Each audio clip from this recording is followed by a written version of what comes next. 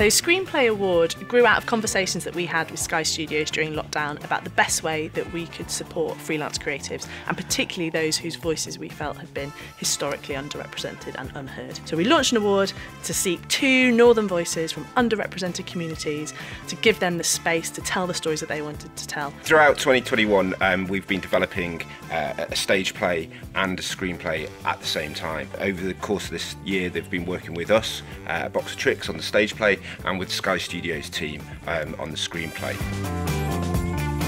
So I'm Sarah Tarbit, a working class writer from um, Northumberland, town called Ashington. And I heard about the scheme uh, through Twitter, so I put together an application form.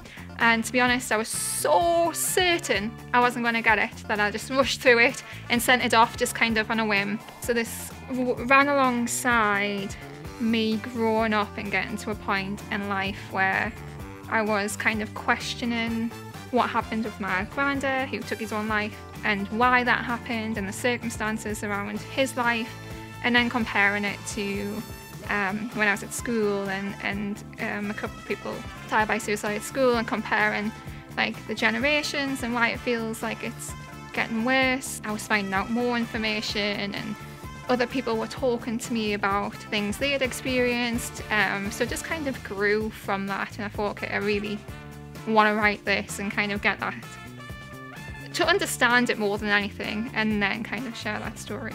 Uh, so my name is Conway McDermott. I am a trans writer based in Liverpool. Uh, I had emailed uh, Box of Tricks some of my work earlier in the year to be like, hey, I really like what you do, let's make friends. So I was keeping an eye out and sure enough, they did post about it on the internet, and I did apply.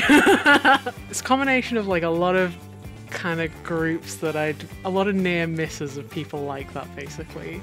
Like, uh, I'd like I was a teenage goth who was like gender divergent and queer and kind of looking for a sense of purpose.